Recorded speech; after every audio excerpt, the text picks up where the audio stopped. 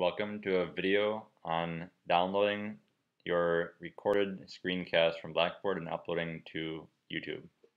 So to start, I'm logged into Blackboard. I'm going to enter into the class that I'm teaching. And as an instructor, on the left-hand side, I have access to the course tools and Blackboard Collaborate Ultra.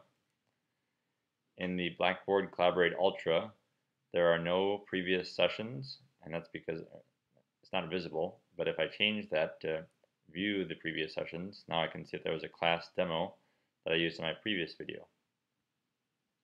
The edit settings is grayed out, but I can still click on it. And if we scroll down, it looks like there's nothing there, but we have to just keep scrolling to get to session settings. And I have checked the allow recording of downloads. That might not be active for you. If it's not, you can say you can change the event details so that it's an open session. Once it's an open session, then you can change the session settings to allow recording downloads. So I'm going to save that. Now I'm going to switch from the sessions menu by clicking on the menu button on the left hand side and change over to recordings.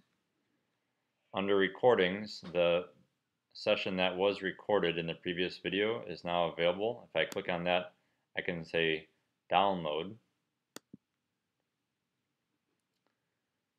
The video is pretty short, so the download won't take very long. So I'm going to put it in the video directory here on my desktop and save it.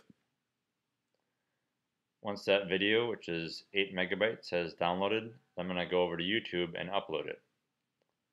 So we'll wait for this video to download, and meanwhile, I'm going to click over on YouTube.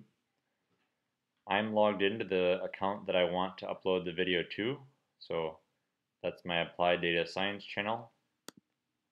And I can click on the little uh, camera icon and say create a video, and we'll upload the video. And then I can click on this up arrow and go to my video and this is the file that I want to upload. I'll click on open and then that video is processing so once that's done then my video is available on YouTube.